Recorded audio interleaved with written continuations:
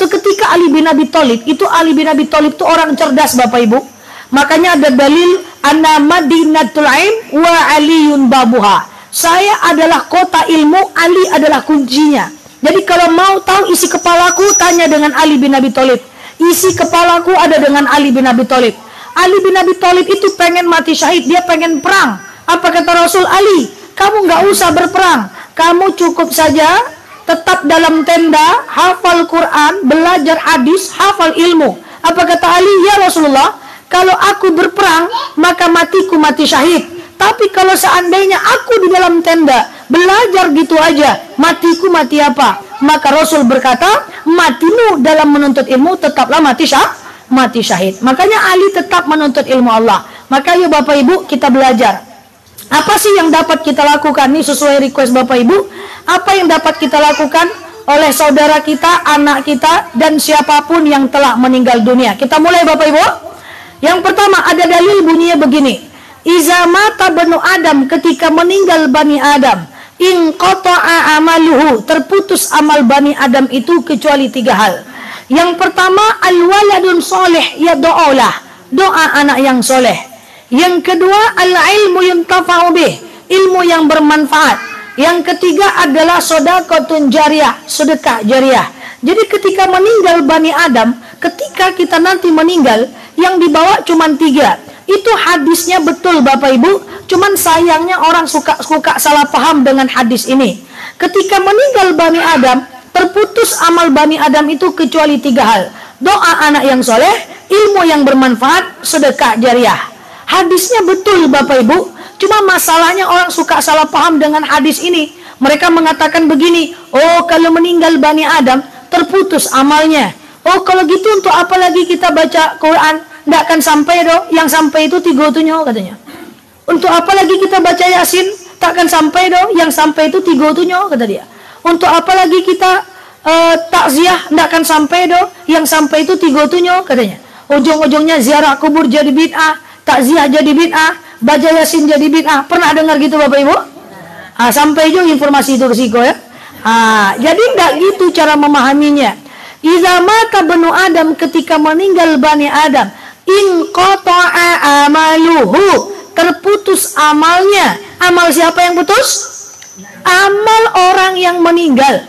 Ketika meninggal Ustazah Nela, terputus amal Ustazah Nela. Yang tadi baca Quran, tak baca Quran lagi yang tadi tausiah tak tausiah lagi, yang tadi nguji skripsi tak nguji lagi, yang tadi tausiah tak tausiah lagi, yang putus adalah amal saya yang meninggal.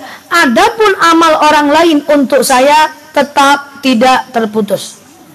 Ah, jadi yang putus itu cuma amal orang mening meninggal. Jadi nanti pertanyaannya adalah orang meninggal, orang tua-tua yang meninggal itu Pak, dia cuma bawa tiga saja. Pertama, dia bawa doa anak yang soleh. Anak yang soleh dia punya enggak? Kayak kita lah cuman cukup makan soleh kita. Yang kedua, ilmu yang bermanfaat. Belum tentu orang tua kita dulu punya ilmu Bapak Ibu ya. Dan belum tentu kita punya ilmu. Ya ilmu yang bermanfaat itu ciri-cirinya tiga. Satu dituntut, dua diamalkan, tiga diajarkan. Berat ilmu bermanfaat itu berat.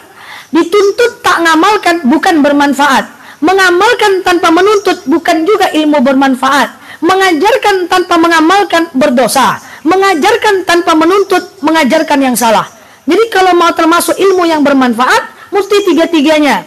Adalah yang pertama dituntut, diamalkan, diajarkan. Kita nanti meninggal, atau orang tua yang sudah meninggal, mereka cuma bawa tiga. Doa anak yang soleh, ilmu yang bermanfaat, dan yang ketiga, sodakotun jariah. Apa beda sedekah biasa dengan sedekah jariah Bapak Ibu? Sedekah biasa, kita kasih sesuatu, tapi cuma dinikmati oleh satu orang saja. Saya ambil Quran, saya kasih teman, sedekah. Saya ambil uang, saya kasih fakir miskin, sedekah. Saya ambil Quran, eh, saya ambil uang, saya kasih teman saya, sedekah. Itu sedekah. Apa bedanya sedekah biasa dengan sedekah jariah? Kalau sedekah jariah, sesuatu itu kita kasih, tapi dimanfaatkan oleh banyak orang. Contoh, saya ambil Quran, ditaruh ke masjid, dipakai banyak orang, sedekah jariah. Saya ambilkan sarung, taruh ke masjid, sedekah jariah. Ngalir pahalanya kalau kita meninggal. Saya ambil uang, saya kasih ke Pak RT untuk dibuat lampu jalan, sedekah jariah. Pokoknya sedekah jariah adalah yang dipakai banyak orang. Saya ambil mukena, saya taruh ke masjid, dipakai banyak orang sedekah jariah. Ambil mukena, kasih ke kawan, sedekah biasa. Betul? Ambil mukena, taruh ke masjid, sedekah jariah. Ambil sendal, kasih tetangga, sedekah biasa. Ambil sendal, taruh ke masjid, sedekah jariah. Pokoknya sedekah jariah itu adalah yang bisa dimanfaatkan oleh banyak orang. Makanya Bapak Ibu, saya sering bilang dengan jemaah, lampu jalan tuh terangkan sedikit rumah lampu teras tuh karena ketika dia menerangi jalan itu sedekah jariah. Ini ndak lampu rumah lima watt. Tersuruh wak letaknya. Ha, ini jam dua wale. Alunnya sebuah lah mati. Ha, padahal itu sedekah jariah. Pokoknya apa pun yang bisa dimanfaatkan oleh orang banyak, sedekah jariah nanti kita bawa mati pak. Cuma problemnya ndak itu pak. Problemnya bu, orang tua kita belum tentu punya tiga-tiganya, betul? Belum tentu dia punya ilmu, belum tentu dia punya sedekah jariah, belum tentu doa anak yang soleh. Maka kalau orang tua kita meninggal, kita perlu mensubsidi dia. Ah, gitu bahasanya Pak. Kita perlu membantu dia untuk meringankan bebannya. Inilah kaji kita hari ini.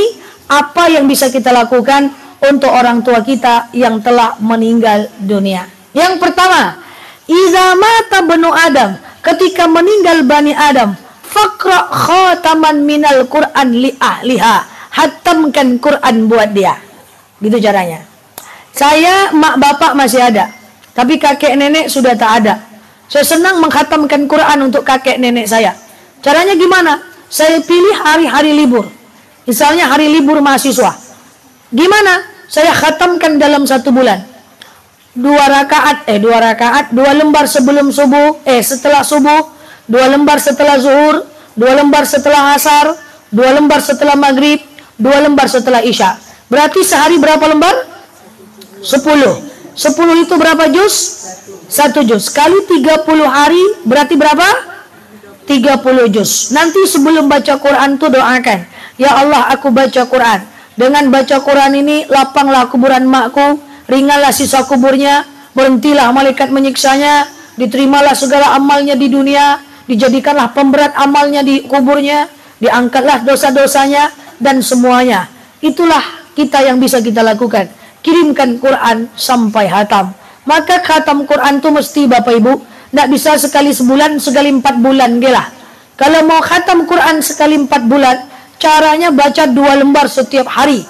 Dua lembar tiap hari. Tiap hari, tiap hari. Empat bulan hatam. Tidak bisa empat bulan setahun gelah. Kalau setahun itu satu ayat setiap habis sholat. Subuh. Bismillahirrahmanirrahim. Alif lam mim. Sadaqallahul azim. Zuhur. Zalikal kitabu la raiba fi hudan lil muttaqin. Sadaqallahul azim. Satu ayat setiap habis sholat, satu tahun hatam. Payah Ustazah, siang kami maraton. Pagi kami maraton, siang menonton, sore main badminton. Tak bisa. Ah, payah tuh khatam Quran. Caranya kalau nggak bisa setiap habis sholat, lima ayat saja satu hari. Cari waktu di mana ibu baca lima ayat. Nanti doakan untuk orang tua yang telah meninggal. Mereka membutuhkan kita. Mereka yang sudah membesarkan kita. Nanti bilang sama anaknya, oh nak, kalau mak meninggal, apa yang bisa kau buat? Satu, kirimkan Quran sampai hatam untuk mak. Oke? Okay? Yang kedua, fa ilam tastati kalau nggak bisa kirimkan Quran sampai hatam, maka baca jantungnya Quran. Apa jantung Quran? Yasin. Kenapa mesti Yasin? Pertama karena dia jantungnya Al-Quran. Yang kedua karena Rasul pernah bersabda, "Mangkara Yasin faka'annama khatamani minal Quran." Siapa yang membaca Yasin, pahalanya sama dengan dua kali hatam. Itu sebab orang baca Yasin, Bapak Ibu, fadilah Yasin itu luar biasa. Jadi baca Yasin itu tidak ada masalah. Yang masalah tuh Yasin aja dibaca, lain tak dibaca. Sampai kita pun meninggal, itu baru tidak boleh. Nah, kenapa orang banyak baca Yasin di malam Jumat? Karena wafil yaumil Jum'ah, di hari Jumat, wa yanzulunal malaikah, malaikat turun, wa yastajibuna du'a an-nas dijawab semua doa manusia wa amalanas dilipat gandakan pahala. Ya sampai rumah nanti bilang sama anaknya, "Nak, kalau mak nanti meninggal, apa yang bisa kamu buat?" Satu, kamu kirimkan Quran sampai hatam untuk mak. Yang kedua, kalau nggak bisa, kamu kirimkan Yasin. Yang ketiga, fa illam tastati' kalau nggak bisa kamu kirimkan Yasin, lakukan yang ketiga, fakra ummul Quran al-Fatihah. Jadi kalau ada orang tua kita meninggal, kirimkan Quran sampai hatam. Kalau nggak bisa kirimkan Yasin, kalau nggak bisa kirimkan Al-Fatihah. Nggak juga bisa kirimkan Al-Fatihah, kita adalah meninggal lagi parah betul. Coba bayangkan bapak ibu meninggal. Lalu anak bapak khatamkan Quran dua kali setahun. Untuk kita. Lalu setiap malam Jumat dia kirimkan Quran. Dia kirimkan Yasin. Setiap habis salat dia kirimkan Al-Fatihah Oh, tidak ada orang takut mati, Pak. Karena orang takut mati itu kan anda ada yang mendoakan. Amal tak boleh cukup. Kirimkan Quran sampai hantam. Kirimkan Yasin. Kirimkan Al-Fatihah. Yang keempat, apa yang bisa kita lakukan? Untuk saudara kita, orang tua kita yang telah meninggal. Sampaikan nanti ini kepada anaknya. Jangan sampai di ibu bapak saja. Kalau cuma sampai di bapak ibu, nanti bapak ibu tak dapat apa-apa. Nomor empat, perbanyak mengirimkan wasilah. Apa namanya? Wasi? Hah? Bukan wasiat. Wasi, wasilah. Apa itu wasilah? Wasilah itu adalah mengganti amal kita untuk kebaikan orang yang meninggal dunia. Contoh, ya Allah ya Tuhanku, ya, hmm, aku baca Quran, dengan baca Quran ini lapanglah kuburan makku. Ringanlah sisa kuburnya. Berhentilah malaikat menyiksanya. Ya Allah ya Tuhan aku sedekah. Dengan sedekah ini lapanglah kuburan orang tuaku. Dengan sedekah ini ringanlah sisa kuburnya. Lapanglah kuburannya. Sejuklah kuburannya. Dengan sedekah kita. Ya Allah ya Tuhan saya wakaf. Dengan wakaf ini ringanlah sisa kubur orang tua saya. Berhentilah malaikat menyiksanya. Ya Allah ya Tuhan saya infak dengan infak ini lapanglah kuburan mak saya. Ya Allah ya Tuhan saya sedekah 2000, 2000. Nah, saya sedekah dengan sedekah ini lapanglah kuburan mak saya. Berhentilah malaikat menyiksanya. Itu wasilah. Wasilah itu adalah menjadikan amal kita untuk kebaikan orang yang telah meninggal dunia. Apa pun itu lakukan wasilah. Karena orang yang paling pelit adalah orang yang tidak berwasilah. Wasilah bukan hanya untuk orang meninggal Bapak Ibu. Wasilah bisa juga untuk kita. Misalnya maaf ya, ada orang tua kita sakit nggak sembuh-sembuh. Lalu kita sedekah. Ya Allah dengan sedekah ini sehatlah orang tuaku. Ada ibu punya pengen dapat cucu, anaknya sudah menikah lama belum punya keturunan. Ya Allah ya Tuhan, saya wakaf. Dengan wakaf ini aku doakan. Punya cuculah aku cepat ya Allah. Kan itu namanya wasilah. Wasilah itu pokoknya menjadikan kebaikan kita sebagai bentuk diijabahnya doa kita.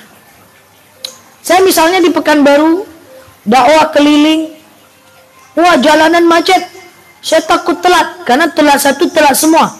Maka sering saya berwasilah, sedekah, ya Allah, saya sedekah. Dengan sedekah ini, lancarlah aktivitas saya hari ini. Nah, itu namanya wasilah. Bisa dilakukan saat baca Quran, zikir, saat solawat, ya Allah aku solawat. Ya Allah aku baca Al-Fatihah. Dengan Al-Fatihah solawat ini, ringanlah sisa kubur orang tuaku, sembuhlah sakit suamiku. Kalau orang awak-awak dulu, ada kalau ketulangan, katanya gulung-gulung nasi, kan gitu Pak. Telan baca solawat. Nah, solawat itu wasilah. Ya Allah, saya gulung nasi ini, ha? saya masukkan, saya telan. Nah, itulah yang dinamakan dengan wasilah. Bapak Ibu pernah nengok Quran Yasin yang ada foto orang di depannya? Pernah ya? Itu wasilah, Pak. Ada orang meninggal dunia, lalu orang meninggal dunia itu meninggalkan harta, lalu kemudian anaknya soleh, dia ambil uangnya atau dia ambil uang bapaknya, dia cetak Quran Yasin, dia cetak Quran Yasin, lalu kemudian dia bagikan kepada orang. Ditaruhnya foto bapaknya di depan. Inna lillahi wa inna ilaihi raji'un telah berpulang ke rahmatullah ayahanda kami fulan bin fulan mohon doa lalu dia bagikan dia wakafkan yasin itu kepada orang apa makna dia berharap ketika dibaca Yasin itu didoakan untuk bapaknya yang meninggal dunia tadi. Jadi kalau bapak ibu nengok Quran Yasin yang ada foto orang di depannya, jangan dicalik-calik aja pak. Ini tidak selfie itu doh pak. Ini berharap wasi, wasilah. Oke? Okay? Dah, pertama kirimkan Quran sampai ha. Yang kedua kirimkan Yasin. Ketiga kirimkan Al-Fatihah. Yang keempat perbanyak melakukan wasilah. Yang kelima, kalau ada saudara, orang tua, siapa pun yang meninggal, lakukan nomor lima, ziarahi makamnya, Pak. Ziarahi kuburannya. Ziarah itu luar biasa. Ya, apa hukum wanita ziarah kubur? Kuntu nahaitukum an ziaratul kubur ala fazuruha. Al hadis. Rasul pernah melarang wanita ziarah kubur. Sekarang Rasul bolehkan wanita ibu-ibu ziarah kubur. Gak ada masalah. Dulu sempat dilarang, sekarang dibolehkan. Apa manfaat ziarah kubur? Saya sering sampaikan. Suatu ketika Rasul jalan di antara dua kuburan. Kuburan sebelah kanan ada mayat yang sedang disiksa karena kencing tak cebok. Kuburan sebelah kiri maaf ada mayat yang sedang disiksa karena kencing berdiri. Lalu Rasul jalan di antara dua kuburan itu. Bertanya Abu Bakar dari belakang. Ya Rasul, mada ta'mal? Kau sedang apa ya Rasul? Apa kata Rasul? Saya sedang membersihkan kuburan ini. Jadi sampah-sampah dibersihkan oleh Rasulullah. Lalu Abu Bakar bertanya, ngapain kau bersihkan kuburan ini ya Muhammad? Apa kata Muhammad? Saya ingin meringankan beban siksa ahli kubur. Apa makna? Jangankan mendoakan, membersihkan kuburan saja, meringankan siksa. Lalu Rasul ambil air putih, Rasul siram di atas kuburan itu. Kemudian Rasul bertanya, Abu Bakar bertanya, ngapain kau ambil air putih dan kau siram ya Muhammad? Apa kata Muhammad? Saya ingin memberikan istirahat siksa bagi ahli kubur sampai air ini kering. Maka adat Indonesia tak bertentangan dengan syariat. Kita kan kalau ke kuburan kita bersihkan, itu ringan siksanya. Kita siram pakai air, itu berhenti malaikat menyiksanya. Maka saya saran kuburan jangan dikasih atap. Kenapa? Karena setiap air hujan yang jatuh, mayat takkan disiksa sampai air itu kering. Makanya air hujan itu rahmat bagi sekalian alam rahmat bagi hewan, rahmat bagi tumbuhan, rahmat bagi orang meninggal, rahmat bagi manusia. Luar biasa. Ya. Kemudian Rasul ambil pelepah, Rasul tanam di atas kuburan itu. Bertanya lagi Abu Bakar, ngapain kau ambil pelepah dan kau tanam ya Muhammad? Apa kata Muhammad? Saya ingin memberikan kesejukan bagi ahli kubur. Masya Allah. Pergi ke kuburan orang tua kita tuh Bapak Ibu. Bilang sama anaknya Bapak Ibu. Nah, kalau mak nanti meninggal, satu kamu kirimkan Quran sampai hatam. Dua kamu kirimkan Yasin. Tiga kamu kirimkan Al-Fatihah. Empat setiap engkau berbuat baik doakan pahalanya untuk makna. Yang kelima kunjungi makam makna. Bersihkan kuburan mak ringan siksa. Siram pakai air berhenti malaikat menyiksa. Masya Allah. Ziarah itu tidak ada masalah. Kalau ada yang bilang tak boleh ziarah untuk wanita, itu berarti tak update dengan hadisnya. Ya, dalam ilmu hadis itu ada namanya nasah wal mansuh. Dulu wanita dilarang ziarah kubur, sekarang dibolehkan. Tidak ada masalah. Ya, nah, itulah ziarah kubur. Makanya, Mak, Pak, jangan macam-macam, jangan, jangan nanti punya pesan macam-macam sama anaknya. Kok kadang orang awak kok aneh-aneh. Suaminya meninggal di Tinggi situ ah. Istrinya tinggal di sini sama anak-anaknya. Ah, dipesankannya sama ya, sama anaknya, nak, nak, nanti kalau mak meninggal kuburkan mak samping makam bapak di kambang tuh yo. Banyak itu. Saya punya jemaah nanya, Ustazah mak saya di Pekanbaru, bapak saya makamnya almarhum di Tinggi, di Kamang, tak di mana-mana, di Padang. Pertanyaannya apa? Pertanyaannya mak saya itu nanya, nanti minta dia request dia, kalau nanti dia meninggal, dia minta dikuburkan di samping makam suaminya. Saya selalu tanya, sekarang anak-anaknya di mana? Anak-anaknya semua dah merantau ke Pekanbaru saja. Maka saya bilang, kuburkan tuh mak, itu kuburkan di tempat yang banyak anak. Oh dia mintanya samping suaminya, ndak usah. Itu bukan wasiat. Karena kuburan di samping suami kalau jauh dari anak ngapain? Siapa yang mau menziarahi? Kecuali kita bisa bayar orang untuk menziarahi atau tukang kuburnya. Tidak kan rioni dia. Kok lama bana bang tulah tergawa. Ha, enggak ada, ada hubungan. Ha, I miss you bang. Tu lama kali dek. Tulah. Tidak ada. Jadi kuburkan. Nanti bilang sama anaknya. Nak, kuburkan mak di makam yang dekat dengan kalian. Supaya bisa diziarahi. Kalau ada anak satu dua yang soleh, bilang sama dia kuburkan mak yang dekat dengan si Pulan tua. Karena kadang-kadang ziarah ini tak semua orang pula mau. Katanya panas. Tentu ya panas, cara ziarahnya salah. Dibantainya baca Quran 30 juz. Tentu tidak masuk dia. Ziarah tuh tidak mesti lama-lama. Ya, tidak mesti lama-lama. Gimana ziarah? Coba. Pertama, ambil uduk dari rumah dulu kan. Kemudian yang kedua, pakai pakaian yang tidak mencolok. Ah, jangan cantik-cantik kali ziarah pakailah make up macam-macam terkejut mayat tu nanti ha, biasa aja. Sunnah ziarah adalah sederhana. Sederhana saja. Ya? Lalu sampai ke lingkungan makam tu ucapkan assalamualaikum ya ahli kalau bahasa kerennya assalamualaikum ya ahli diar assalamualaikum ya ahli diar udahlah gampang aja. Assalamualaikum ya ahli kubur. Lalu masuk ke kuburan itu Jangan duduk di kepala, jangan duduk di kaki, sunnah duduk bagian kanan. Dah, bersihkan kuburan tua. Ya, ilalang, sampah-sampah, botol-botol, aqua, macam-macam. Ya, kalau nggak ada tukang bersih kuburan, biasanya banyak. Ah, bersihkan. Lalu kemudian siram pakai air, doakan. Pakai bahasa Indonesia boleh. Baca Yasin di kuburan boleh saja, boleh. Tapi di kuburan atau di rumah sama aja. Ya, Sebenarnya saya nggak nyarankan baca yasin di kuburan, bukan karena nggak boleh, tapi nanti terlalu lama, panas berdengkang, sakit kepala, ujung-ujungnya bilang sekali sebulan aja lah, ya kan? Nah, jadi lebih bagus sederhana saja, ya, jadi nggak terlalu perlu baca yasin, karena baca yasin di rumah atau di kuburan sama, karena kuburan bukan tempat mustajab, kuburan bukan tempat mustajab, jadi doakanlah ya, nah, doakan pakai bahasa Indonesia. Ya Allah, lapanglah kuburan orang tuaku.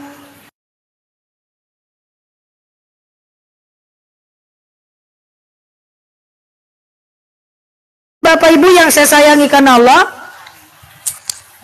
ya, ya, baca baca assalamualaikum ya alil kubur, ya, kemudian baca sholawat, baca al-fatihah, dan yang tidak boleh dalam ziarah, yang tidak boleh dalam ziarah adalah ngomong dengan ahli kubur. Ma, ma, ma, aku datang, ma. Itu tidak boleh. Jawabnya nanti iyo, susah. saya sekali sebulan, eh sekali sebulan, setiap waktu berjangka, saya selalu nemanin mak bapak saya ziarah ke makam maknya di Kamangilia. Jadi kampung saya, jorong saya itu bu, pak, jorong Minggu Gadang, pas di samping Bantoroyo. Ah, tau Bantoroyo? Ah, sabalun Bantoroyo itu ambo jalan kaki sih ke Bantoroyo tuh. Kata mak saya, Bantoroyo itu tempat mak main bonca dulu. Ah, sekarang jadi Bantoroyo. Ah, jadi di belakang Bantoroyo itu kuburan nenek-nenek saya sama kakek saya. Itu kalau kami sudah ziarah, ya itu kalau kami sudah ziarah, itu mak saya udah saya, saya informasikan. Kadang-kadang terdengar suara sayup-sayup ya. Rupanya mak saya ngomong dengan mak di kuburan dengan nenek, "Nek, Bu, ambo datang, Bu. Jo cucu, Bu." Tengok suara apa tuh? Saya lagi bersiap. Apa mak? Mama ngomong sama nenek, oh terjago nenek yuk mak. Bangun nenek nanti mak. Ah, itu yang tak boleh. Ya, termasuk kalau kita ziarah ke makam para wali, cukup ya, cukup ziarah ke makam para wali itu, cukup doakan para walinya. Ziaratul kubur li ahli kubur. Ziarah kubur itu untuk ahli kubur. Jangan minta wasilah dengan para wali. Syekh doakan kami Syekh tak bisa lagi dia mendoakan dia udah meninggal Syekh kasih kami petua Syekh ngomong betulan dia nanti terbang kita nah, jadi nggak boleh. Walaupun kita ziarah ke makam para wali maka cuma boleh mendoakan orang yang meninggal tidak boleh lebih dari itu. Curhat boleh nggak? Nggak nggak ada sunnahnya. Kalau kita percaya dia mendengar nanti jadi syirik pula.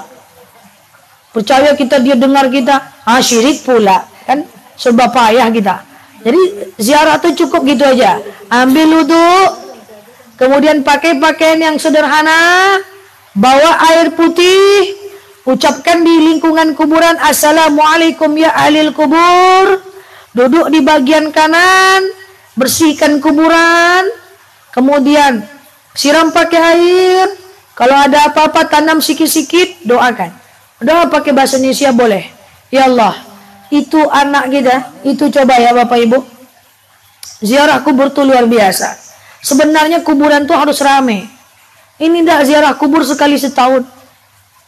Pas ditengok yang mana patang. Lupa. Lupa dia di mana makam adiknya. Di mana makam pamannya. Di mana makam orang tuanya. Kok ustazah ngomong gitu? Saya sering pergi ziarah dengan teman saya. Mengantarkan orang tuanya. Lupa. Yang mana ya Nel? Video call lu sama bapaknya. Mana pak? Belakang pohon rambutan. Rambutan tak boleh dong. Ha, bayangkan tuh. Ya Allah, ya itu karena jarang jarah itu. Kau bilang sama anaknya, bilang sama anaknya, nanti kalau mak meninggal, apa yang bisa kau buat nak? Satu, kamu kirimkan Quran sampai hatam. Dua, kamu kirimkan Yasin. Tiga, kamu kirimkan Al-Fatihah. Empat, kalau kamu berbuat baik, doakan pahalanya untuk mak. Yang kelima adalah ziarahi makam makna. Kunjungi makna kalau itulah yang jadinya anak Bapak Ibu unde bajaso punya anak Bapak Ibu.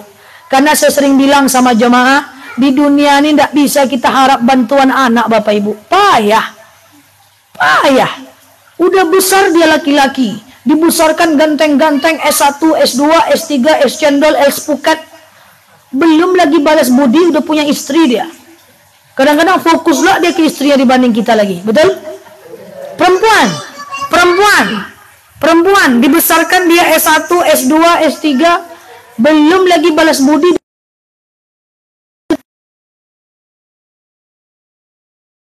Mana lagi kita? Yang ada cucu dititipnya ke kita.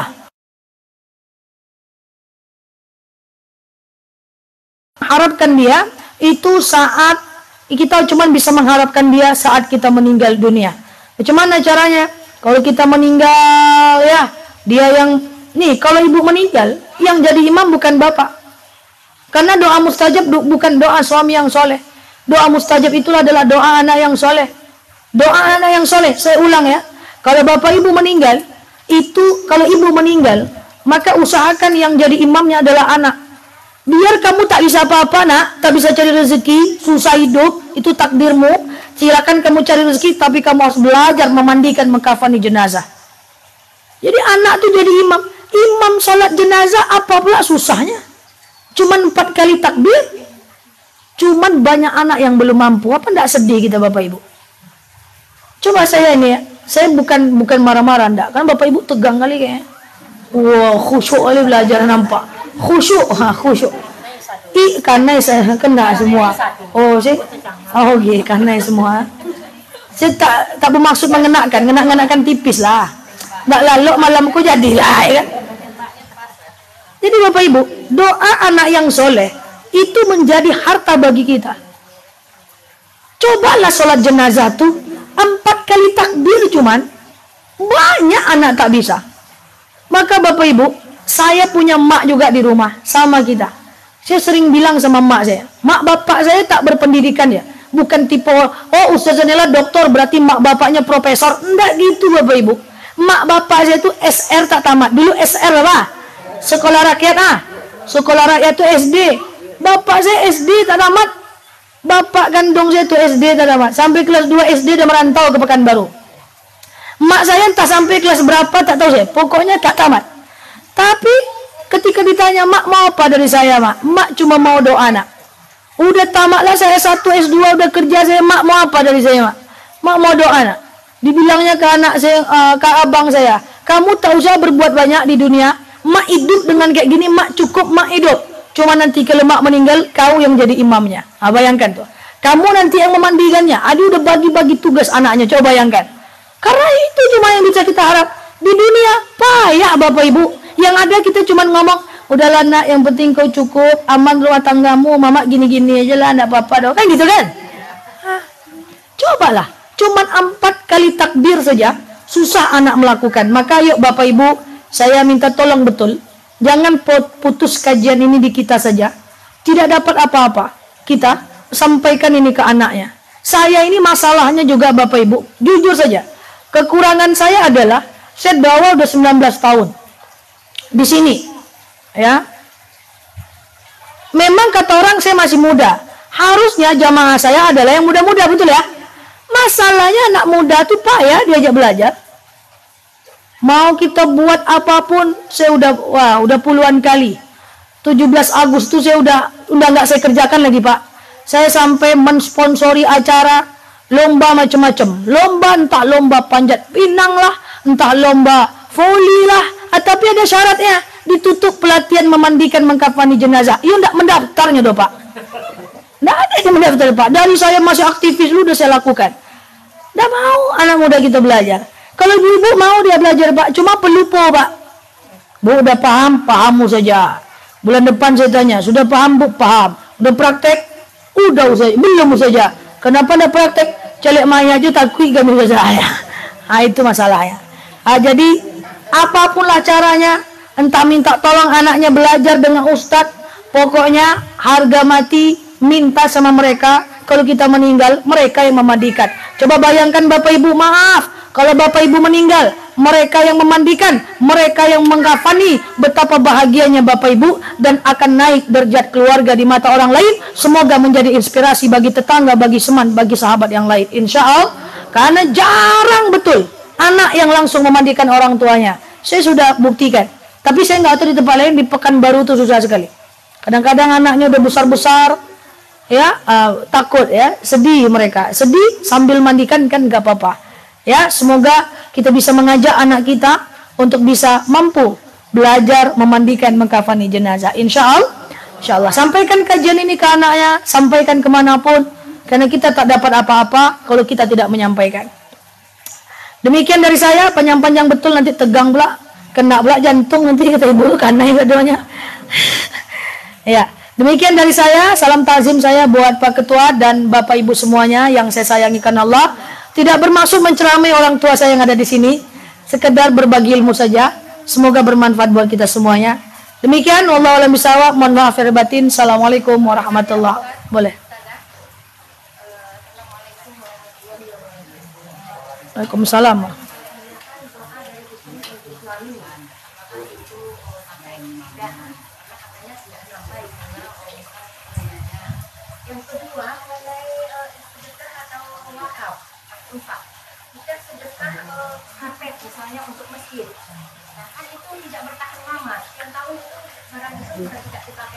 Oke. Okay. Katanya itu terputus oh, pahalanya karena sudah tidak uh, tidak ada lagi kenapa dibuang. Terima kasih Oke, okay, makasih Bu ya. Wah, enggak jadi balik nih. Hah? Banyak. Besok pagi balik. ya udah Bu, nggak apa-apa Bu. udah Bu, cukup Bu ya. Oke, okay, nggak apa-apa. Repot-repot pula Ibu. Apa tadi lupa?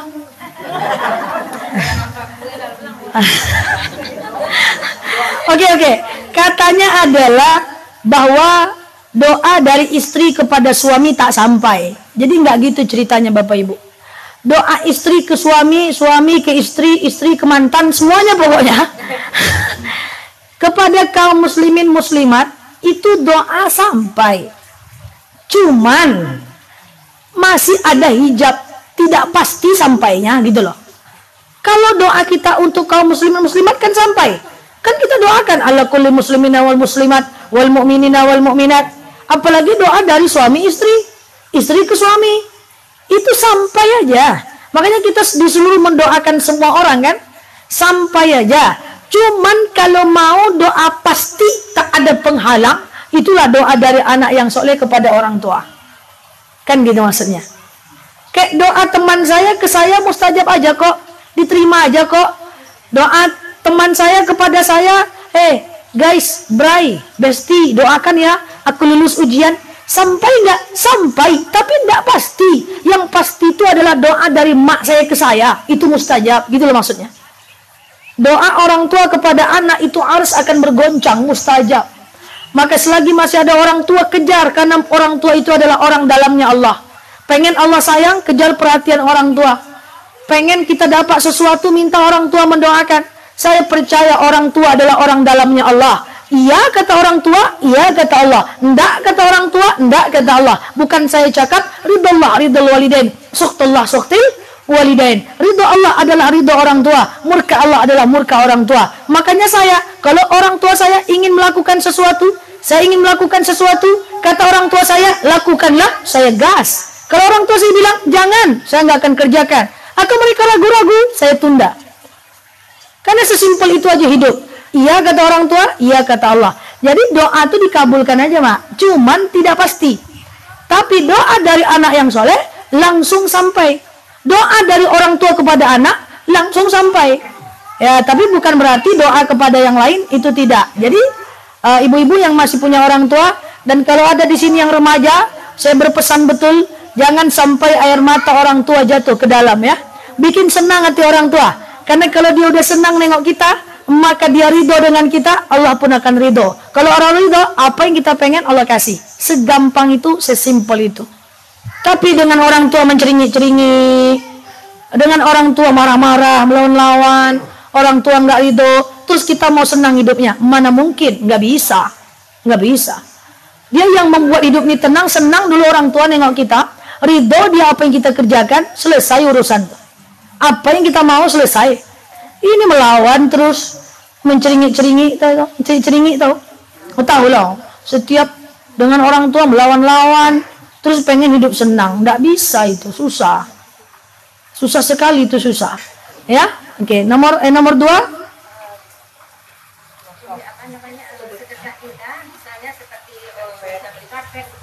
Oh ya, sedekah kita kan saya sedekah nih Ustazah. Saya taruh beli karpet di masjid, ya. Kemudian uh, karpet itu hancur atau dicuri orang atau saya bangun masjid, eh rupa-rupanya masjid itu terbakar atau dipindah ingin dibangun yang baru. Dulu waktu bangun pertama itu uang saya, rupanya datang donatur baru dibuat yang baru. Katanya nggak sampai lagi pahalanya, nggak gitu ceritanya, ya. Al aslu fil af'al muqayyid bi hukmi syar'i. Yang dihitung itu perbuatan kita, bukan bendanya. Kita wakaf Quran di masjid, dibaca nggak dibaca orang kita meninggal ngalir pahalanya. Yang dihitung itu bukan bendanya tapi adalah perbuatan kita. Kita bangun masjid rupanya kosong masjidnya. Yang yang sholat cuma lima orang kan gitu ibaratnya. Karena entah banyak non muslim di situ entah orang masih punya anak kecil di situ. Sehingga orang sedikit sholat ngalir pahalanya kalau kita meninggal. Atau terbakar masjid itu yang ngalir pahalanya karena yang dihitung itu perbuatan kita bukan bendanya Ya, makanya ngasih sedekah 2000 ikhlas lebih baik daripada 100 ribu tapi ngo ngomel. Hati-hati nih orang Minang. Banyak merantau kita nih orang Minang. Kita banyak nyebut-nyebut kebaikan. Ponakan kita merantau di Pekanbaru. Tinggal di rumah kita tiga tahun. Ngekos dia di rumah kita tiga tahun. Kita kasih makan, kita hidupkan dia. Karena kakak kita di Bukit Tinggi. Ponakan tinggal di rumah kita. Besar pahala kita. Suatu ketika ponakan tuh jadi orang sukses Eh anak kita butuh bantuan dia. Kita telepon dia. Hai Pulan, begini begitu, tidak mau dia bantu. Apa kata kita? Wah, anglah dan gadangan tiga tahun di rumah. Kini yang berbutuh ada kemakam Hilang pahalanya detik itu juga. Hati-hati. Qaulun ma'rufun wa ma'rifatin khairun min sadaqatin yasbahu ada. Tidak usah sedekah lah Pak lebih baik daripada sedekah tapi menyebut-nyebutnya. Nah, itu hilang semua tuh Pak. Saya baik dengan ibu, baik dengan ibu, baik, baik terus. Suatu ketika saya butuh bantuan ibu, ibu tak ada bantu saya. Oh ceritakan, weh kemarin aku butuh dia, aku selalu ada buat dia. Sekali aku butuh dia tak ada, dah hilang pahala sedetik itu juga. Udahlah hilang pahala, gosip pula. Payah kan? Lebih baik tahu saya sedekah daripada menyebut-nyebutnya. Iya, oke okay, ya. Terima kasih. Suara anak-anak kedengaran. Untuk memandikan, ah ini agak terkejut sedikit, jarang dibahas, tapi maaf yang sudah berlalu biar berlalu, ya. Untuk memandikan jenazah, untuk memandikan jenazah hanya boleh sejenis. Saya yakin Bapak Ibu kaget karena udah banyak yang terlanjur.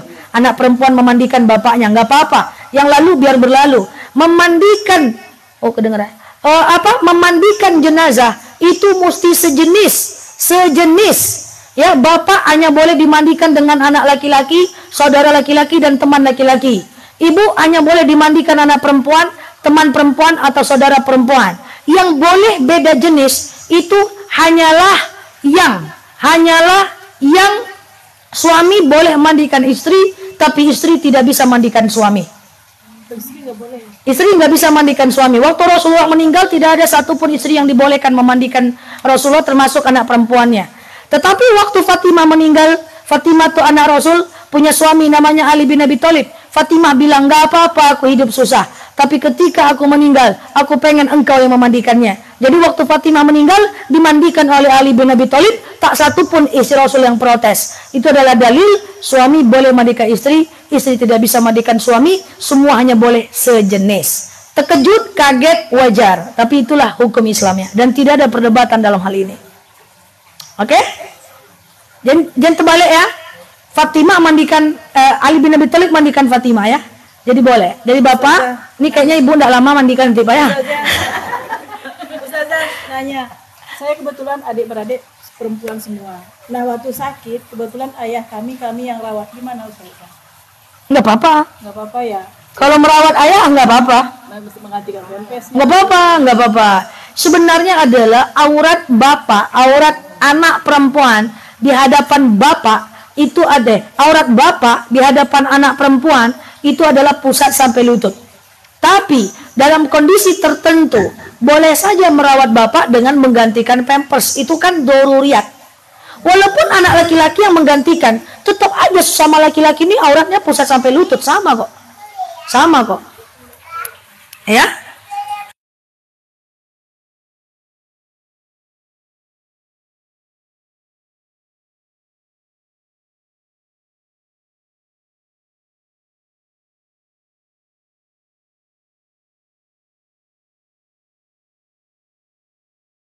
ada dua nih satu mengenai mengaji tadi ya baca Al-Quran kebetulan kami ada di Kamang ini ngaji.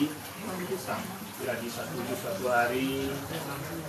Di one day one juz lah. Itu One day one juice. ah one day one juz Ya. apakah itu boleh iya atau gimana? Ada juga bilang itu iya Oh, tapi kita uh, tetap lanjut deh. Ngaji ini satu hari. Ada warga Kamang nih ada yang sudah belum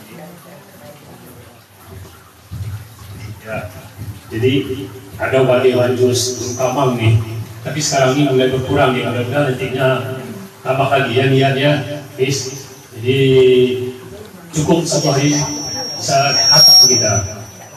Jadi apakah itu ria? Katanya ria katanya.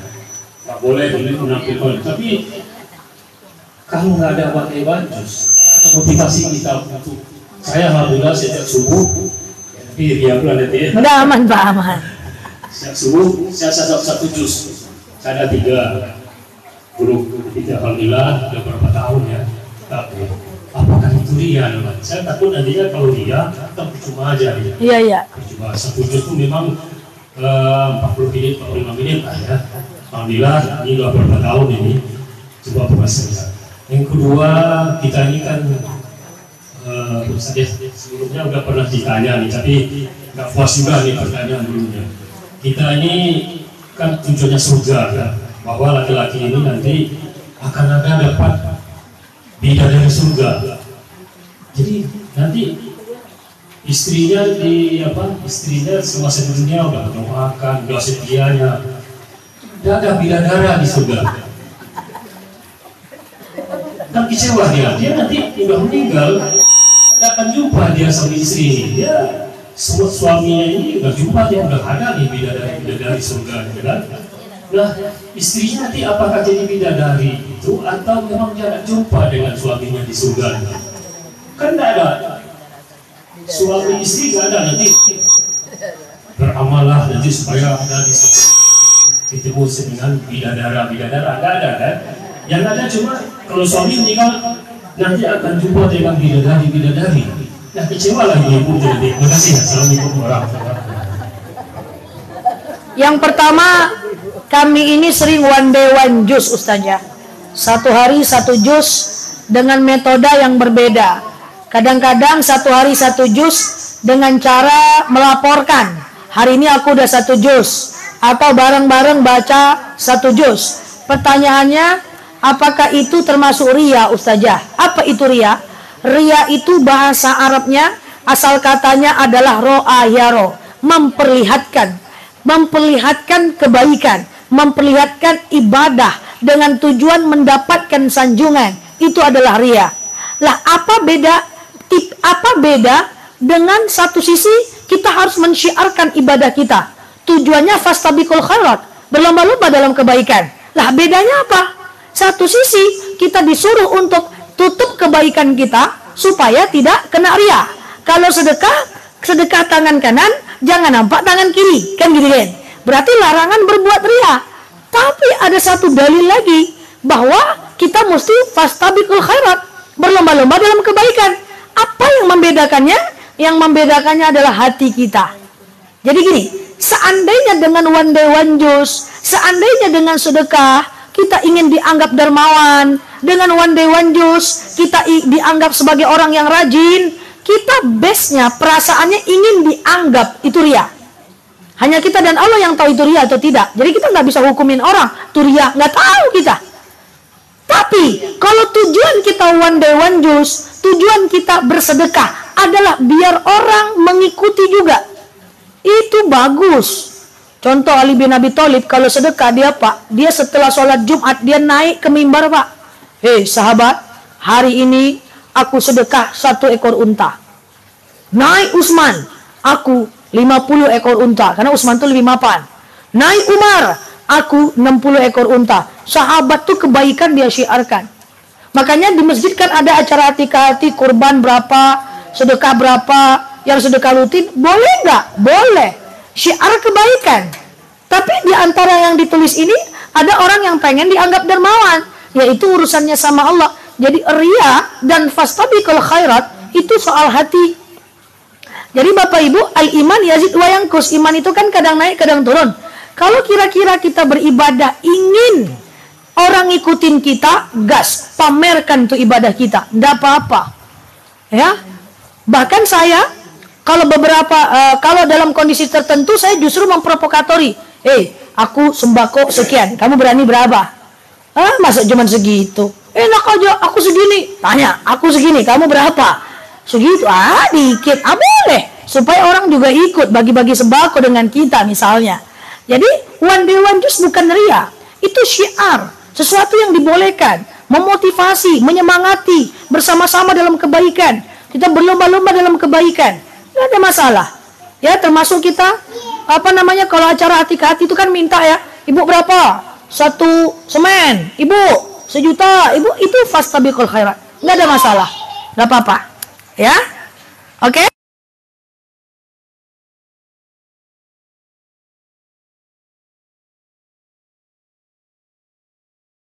Cara bidadari. Ustazah kalau bapak meninggal itu nanti akan ada bidadari di surga. Kalau perempuan kok nggak ada bidadaranya Ustazah?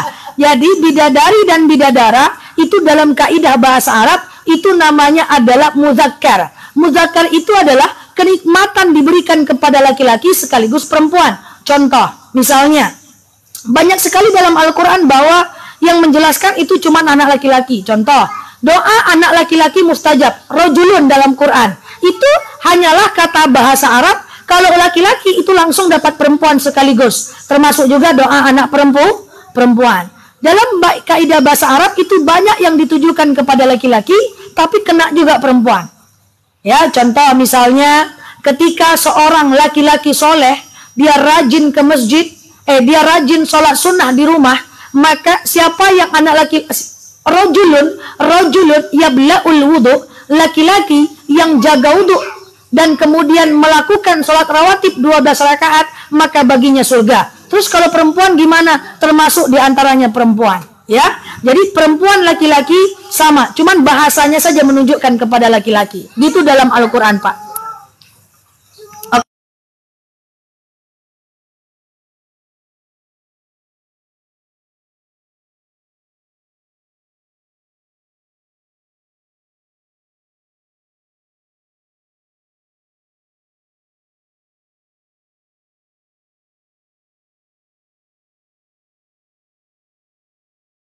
kan ya udah sudah semati. Kita kita kalau meninggal kita kita kalau meninggal pak bukan ketemu dengan istri atau suami tapi ketemu dengan siapa pun yang kita mau. Ibu-ibu belum tentu mau ketemu bapak jangan-jangan pengen ketemu Leminho ah.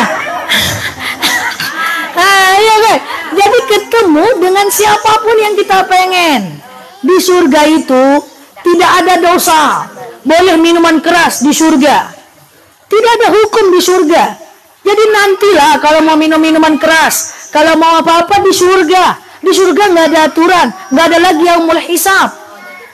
Apa pun boleh di surga, aman, bebas. Iya. Ya, ini tuh ketemu bukan ketemu bapak lagi nih mau yang nilai minum ya. Oke ya. Ibu ya kadang Iya. setia Ah, boleh mau ketemu dengan suami boleh di surga, tapi jangan-jangan ada yang lebih menarik ya kan? Oke, okay. oke okay, gitu ya Pak. Demikian ya. Assalamualaikum warahmatullahi wabarakatuh.